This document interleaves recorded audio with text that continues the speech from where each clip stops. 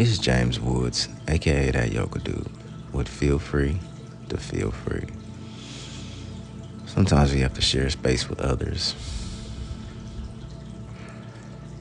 Sharing jobs, food, but taking the opportunity to share space with yourself. Allowing your thoughts, your feelings, your expressions to have space. Just observing them. No shame, no guilt, no critique, no judgment, just allowing your thoughts to come and go.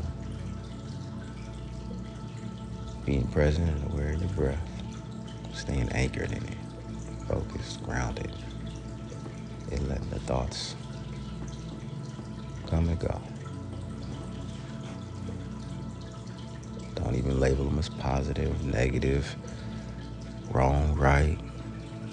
Just breathe and give yourself a second to be still, be relaxed, be present in your mind, if only for a second.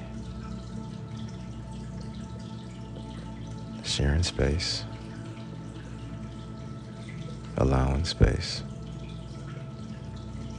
returning to your breath.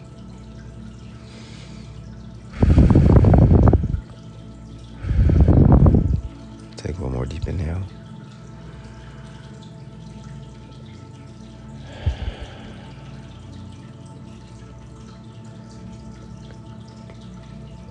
Coming back in.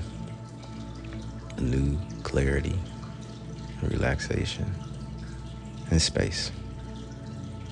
As always, feel free to feel free and namaste. Peace.